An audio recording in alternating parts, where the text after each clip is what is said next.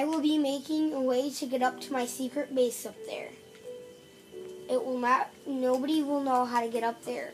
This will be actually, I'm showing it in creative because I have not figured out, I have, do not have this stuff to do it in survival. So what you will need is torches, well, a torch, boats, sand, bow, and um, a bucket of water and some arrows. So, I you see I've placed my boat down there and my torch right there. So what I'll do is I will place one piece of sand above the torch and then I pile up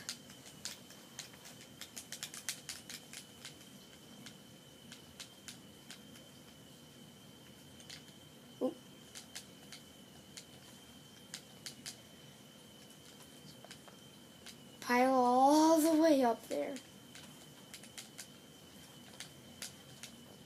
If you're in survival, you'll have a bucket of water. You'll put, and I'll show you it when you you just need a bucket of water. He'll show you when we get to it.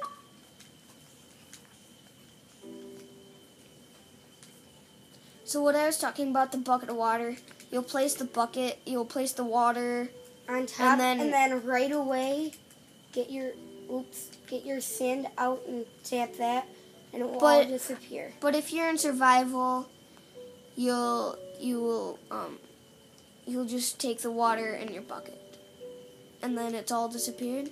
Then if you're on top of the island, you'll Well- shoot it with your bow. Shoot in the hole with your bow, because that's where the boat is, and it'll Well, you know, the boat will disappear, and then when you come down, you can collect all your stuff back up.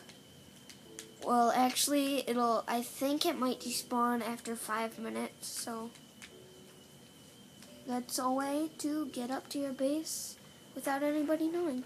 Thank you. Bye. Please subscribe and like. That'll be really helpful. So, thanks. We have made